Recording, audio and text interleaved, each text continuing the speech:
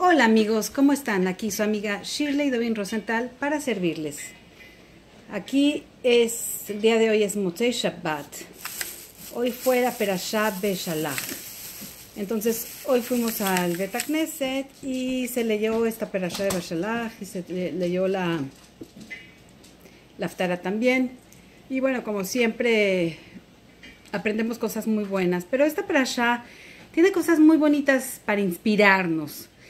Y bueno, eh, voy a mencionar un poquito de lo que viene en esta perashá. Es cuando los Yehudim salen de Mitzrayim, de Egipto, y, y, se abre el mar, y son este, perseguidos por el ejército de Egipto, y son ahogados, y luego atravesar el desierto, y hacen Shirat Yam, que es la, el cántico hermoso de agradecimiento que Miriam, la hermana de Moshe, hace con, sus, con todas las mujeres, cantan y agradecen a Kadosh Baruj por, la, por haberla salvado y que, menciona que todo el ejército egipcio con todos sus caballos fueron ahogados.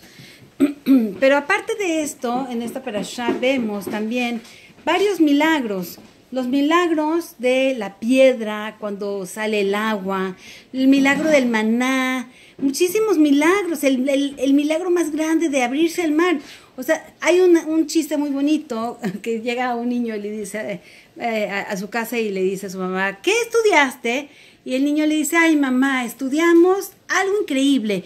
Vimos que eh, eh, hubo un ingeniero increíble que puso un túnel y un puente y atravesaron todos los judíos, salieron de Egipto y atravesaron por el agua y, hizo un túnel y un, con toda la tecnología y dice la mamá, y por favor, eso no existe, eso no fue. Dice, ay mamá, ¿tú crees? Si yo te contara realmente lo que pasó, menos me vas a creer. Imagínate, es así un chiste, ¿no?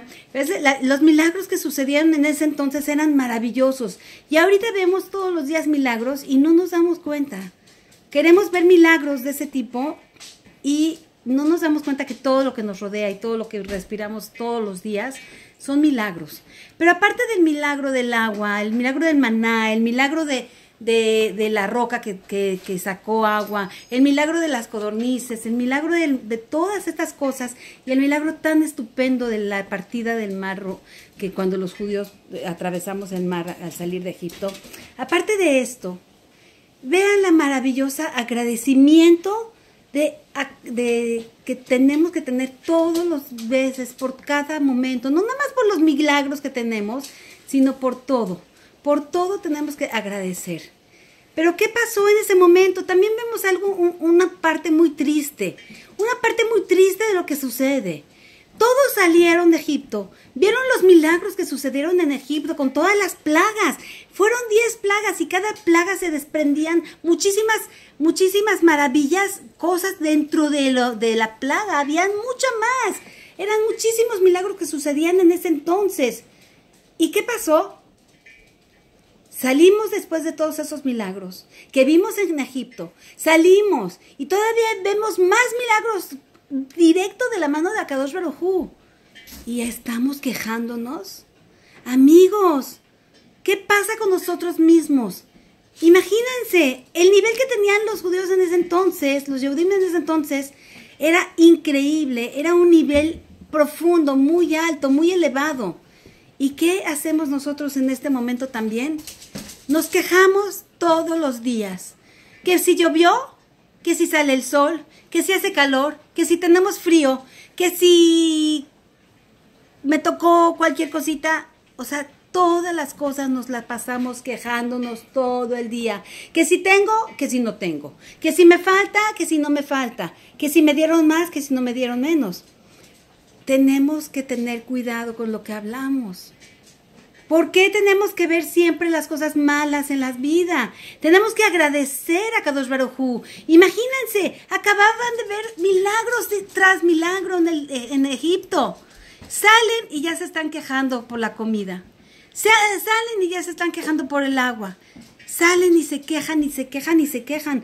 Eso es lo que hacemos en la vida. Todo el tiempo nos quejamos. Amigos, agradezcamos, queremos ser felices, veamos únicamente las cosas buenas de la vida, veamos únicamente el la luz que nos rodea. Veamos las cosas bellas, veamos todas las cosas que tenemos, los regalos divinos que tenemos, los regalos que Akadosh Baruj Hu nos está dando diariamente y no nos va, no nos guiemos nada más por el punto negro que vemos en la hoja. Veamos absolutamente todos nuestros regalos, veamos los milagros que nos rodean. Amigos, despertemos. Despertemos y no nada más agradezcamos. Hagamos todos teshuvah. Todos veamos la, maravillosa mano eh, creadora de Akadosh Barujú, la misericordia que Akadosh Barujú nos tiene todos los días, los regalos maravillosos que nos rodean, que podemos respirar, que podemos caminar, que podemos mirar, que podemos saborear lo que nos metemos a la boca. Amigos, los invito a todos que hagamos un poquito de Teshuvah, que retornemos un poquito a nuestras raíces, que veamos la grandeza que Akadosh Barujú nos está dando, que recordemos siempre esto, que sí, fuimos esclavos y ahora seguimos esclavos de nuestras pasiones, seguimos esclavos de las cosas materiales, seguimos esclavos de la shonara, de la mala boca que mm, cada ratito caemos en hablar mal de las, de las amistades, de los compañeros. ¿Qué no tenemos otra cosa más importante que hablar? Tenemos que siempre criticar lo que nos rodea, tenemos que ver siempre las cosas negativas que tenemos a nuestro alrededor. No, amigos. Akadosh Barujú, Hashem nos está dando esta boquita para alabar, para agradecer, para mirar los hojas, las cosas bellas. Los ojitos que tenemos es para mirar las cosas bellas. Las cosas feas se, meten por los ojos también. Y, y dependiendo del con el cristal que veamos las cosas, vamos a juzgar para bien o para mal. Seamos positivos, amigos, seamos siempre buenos y seamos siempre agradecidos con Akadosh Barujú. Miremos esos milagros que Akadosh Barujú nos está dando y retornemos a lo que nuestro Padre, nuestro Padre que está en el cielo, el único Hashem grande, maravilloso, el único Dios del universo, veamos los regalos que nos está brindando. Agradezcamos diariamente y retornemos a nuestras raíces. Veamos la grandeza de sus mitzvot, de la Torah. Veamos un poquito, estudiemos las raíces, lo que viene realmente, la, la, la esencia, lo que es realmente la raíz. Retornemos a nuestra raíz. No busquemos cosas nuevas ni cosas falsas. Retornemos a lo que es la verdad. Los invito amigos a buscar siempre las cosas buenas y la verdad. Aquí su amiga Shirley Dovin Rosenthal para servirles y nos estamos viendo. Póngale like y nos seguimos viendo para la próxima.